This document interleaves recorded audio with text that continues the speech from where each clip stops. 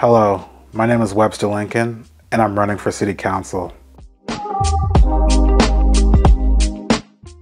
Running for City Council has always been a way for me to give back to my community. I'm not running to promote my poetry book or to use East Palo Alto as a stepping stone for my political career.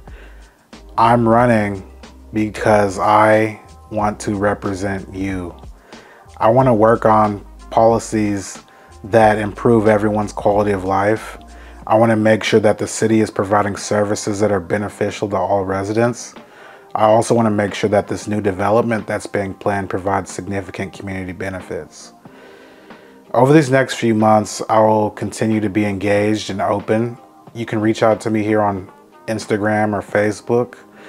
Um, and I'm glad to sit down and have a conversation with anyone who wants to um, pick my mind or discuss ideas about things that we can do in the city to make it better for everyone.